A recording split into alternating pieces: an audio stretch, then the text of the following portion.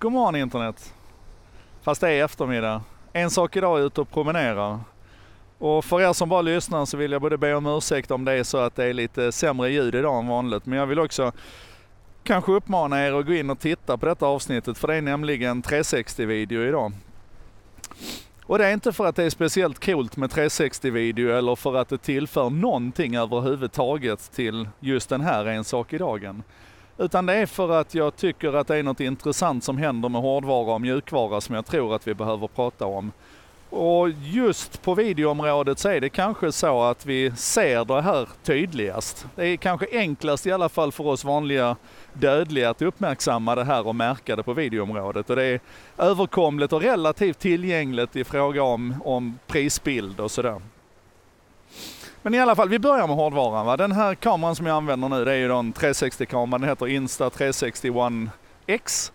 Och den, kan, eh, den har fantastiska prestanda egentligen. Den kan skjuta 360-video med 5,7Ks upplösning och den kan sända live på Facebook och den kan göra massor med grejer. Men grejen är kanske egentligen inte 360 utan det är att du, att du filmar först och, och väljer vinkel sen.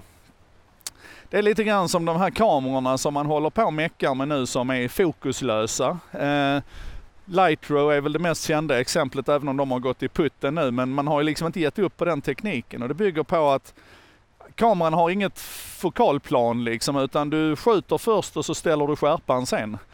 Eh, och ett tydligt exempel på den tekniken det kan vi faktiskt se i, eh, i Googles Pixel. Där eh, där kameran är helt datoriserad egentligen. Så att där är det så att jag tar bilden först och så kan jag ställa skärpan sen. Utöver allting annat som jag kan göra med den kameran. Och vi kan, vi kan stanna vid Pixel 3 ett ögonblick för att den är ju den har ju bara ett, ett objektiv, en optik, en kamera. Men den är ändå, vill jag påstå, mycket mer kapabel än vad, vad eh, Apples eh, iPhone 10 S Max är. Fast att den har två objektiv. Och jag är ändå en Apple-kille så det kostar mycket för mig att säga det. Men det är det här med computational photography, alltså hur man till den här relativt enkla hårdvaran då adderar superavancerad mjukvara. Eh, jag har ju visat bilder till exempel på, på hur den här rackarns pixeln kan ta, kan ta fotografier i, i nästan inget ljus överhuvudtaget.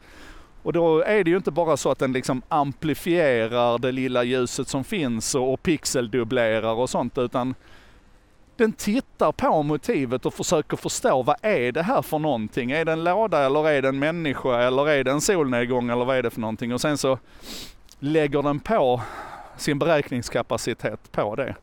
Jag har tagit bilder in i becksvarta förråd där man tydligt, alltså det ser ut som det är taget i dagsljus. Ja, det, är, det är amazing.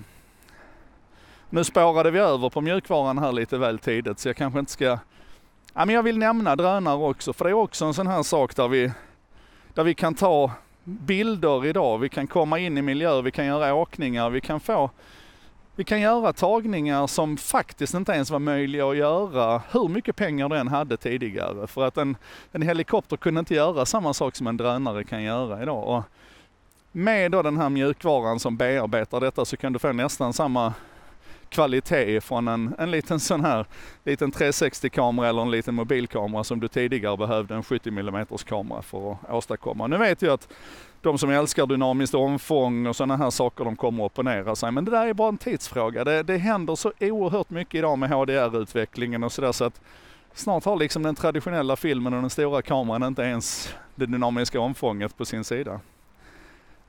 Och det är två saker egentligen som jag tycker är spännande runt detta. Eh, det ena det är en sak som du kan göra idag, även om du inte har råd att köpa all den här tekniken. Så teama ihop med några kompisar, dela på kostnaden, använd det en vecka, en månad och sälj det sen vidare. Då kommer du ner i en rimlig kostnad. Om du liksom snurrar runt de här prylarna så pass snabbt och ni är ett gäng om det, så blir det så pass rimligt billigt så att du kan testa det. Och det är någonting som händer i skallen på dig när du provar det här. Alltså, om du gillar till exempel att, skjuta actionvideo så den här 360-kameran den är ju, som jag sa, det är egentligen inte 360 det handlar om här som är speciellt coolt utan det är att du, du skjuter först och väljer vinkel sen.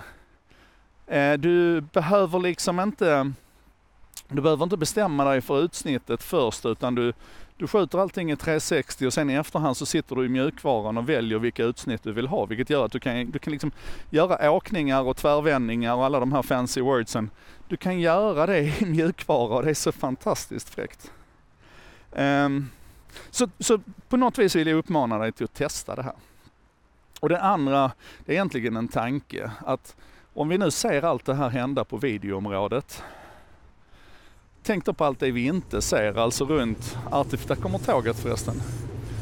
Runt eh, artificiell intelligens och, och sådär där, där hårdvaran och mjukvaran också går i takt idag. Jag tipsade ju tidigare någon vecka här sen om, om eh, Googles Corel, det här ASP-processorn på en på en AI-processorn på en USB-sticka som vi kunde köpa för 75 dollar kombinerat med hur algoritmerna bara blir vassare och vassare. Och det, är så, det är så många exponentiella rörelser idag som jag tror att vi behöver fundera över.